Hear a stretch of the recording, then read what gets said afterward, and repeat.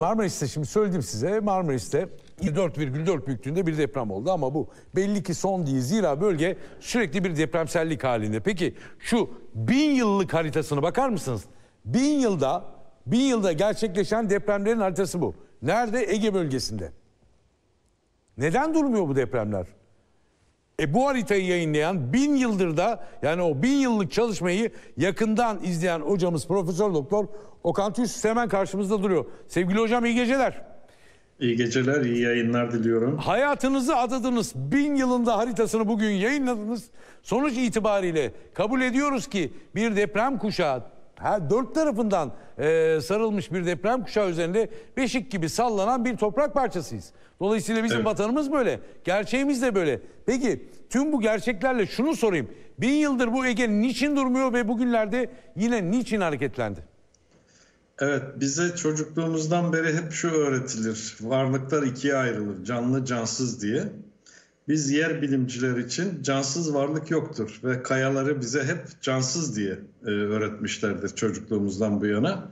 Ama biz yer bilimciler şunu biliyoruz. Kayalar da aslında canlıdırlar. Kayalar da hareket ederler ve Türkiye toprakları sürekli hareket eden bir nitelikte. Özellikle güneyde Afrika levhası dediğimiz Arap Yarımadası'nın Anadolu'nun üstüne doğru her yıl bir buçuk iki santimetreye varan bir hareketi var. Anadolu batıya doğru itekleniyor. Bu batıya doğru iteklemede gerek Anadolu'nun içinde gerekse Ege Denizi'nde sürekli depremleri oluşturuyor. Bunlar milyonlarca yıldır devam ediyorlar. Bundan sonra milyonlarca yıl daha devam edecekler. Anladım. Yani sonuç itibariyle alışacağız biz buna. Bu bin yıla bakmakla olmuyor.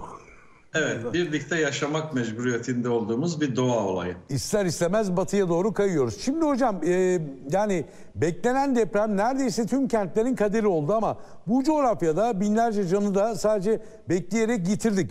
Öncelikle e, Egeli için ne öneriyorsunuz? Çok fazla çünkü yani e, Şubat depreminde koyarsak e, doğuda ayrı, güneydoğuda ayrı, Ege'de ayrı, e, Karadeniz biraz daha rahat belki ama Marmara'da korkulan bir şey. Deprem beklentisi var vesaire. Tamam bekleyelim de beklerken ne yapmamız gerekiyor? Onu da bir bilim insanı olarak sizden duymamız gerek. Bunu defaen belki duymamız gerekiyor. Buyurun.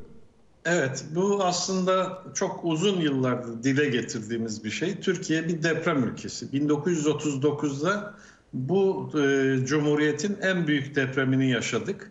17 milyon nüfusumuzun olduğu bir dönemde 40 bine yakın can yitirdik. Evet. Bunun arkasından depremler durmadı. En fazla hatırda kalanlar da 17 Ağustos 1999 ve 6 Şubat 2023 oldu.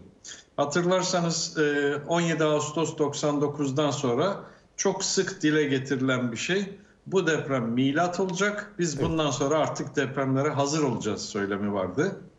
Maalesef 17 Ağustos'tan sonra milat olmadı. Biz de depremlere bir türlü hazırlanamadık. Bunun en net göstergesi de 6 Şubat 2023'te yaşadığımız çok büyük bir deprem ve bunun karşılığında verdiğimiz büyük can ve mal kayıplarıydı. Dolayısıyla bu coğrafyada deprem bir gerçek, depremle bir arada yaşamak ve depreme hazır olmak durumundayız. Depreme hazır olmak için de depreme dirençli bir toplum, depreme dirençli yerleşimleri oluşturmak zorundayız. Doğru. Bu da tabii çok kolay bir şey değil. Bu tür programlarda çok kısaca anlatılacak gibi de değil ama ana maddeleriyle söyleyecek olursak bir defa ekonomisi kalkınmamış ülkeler, ekonomide zayıflık yaşayan ülkeler, afetlerde, deprem ya da diğer afetlerde en fazla hasarı gören ülkelerdir. O nedenle bir defa e, ekonomik olarak kalkınmak mecburiyetindeyiz ki depreme dirençli ve diğer afetlere dirençli hale gelelim. Evet. İkincisi ve belki daha da önemlisi eğitim. Afetlere dirençlilik bir eğitim meselesi. Bu da ana kucağından başlayan ve yaşam boyu süren bir eğitim. Bir deprem anında, deprem öncesinde, deprem sonrasında ne yapacağız? Ya da sadece deprem değil, örneğin selde, örneğin heyelanda, Afetlerde. Örneğin yangında, diğer tüm afetlerde ne yapacağımızı bilmemiz gerekiyor. Bunun için de aslında çizilmiş çok sayıda yol haritalarımız var. Bugün artık bilgiye ulaşmak son derece kolay. Sadece AFAD'ın sayfalarına baksanız dahi depreme ya da diğer afetlere nasıl hazırlanacağınıza dair ciltler dolusu bilgiye ulaşmanız mümkün. Bunları mutlaka hem kendimizin okuması, öğrenmesi, uygulaması Evet. Hem de ailemize bunları mutlaka öğretmemiz gerekiyor ki herhangi bir deprem anında hem paniğe uğramayalım hem de hasar görmemek için gerekli önlemleri alabilelim. Profesör Doktor Okan Tüysüz çok teşekkür ederim. Hocam son bir e, sorum tek cümleyle yanıt rica edeceğim size. Bu e, Ege'de gerçekleşen seri depremler bir deprem fırtınası değil değil mi? Böyle algılamamak lazım.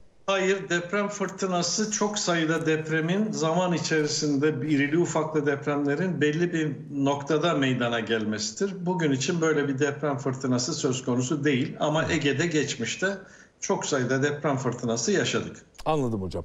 Ağzınıza sağlık. Ee, bize tekrar hatırlattığınız için bazı gerçekleri çok teşekkür ediyorum. Sağ olun, eksik olmayın ediyorum. hocam. İyi geceler yayınlar diliyorum. Sağ İyi olun.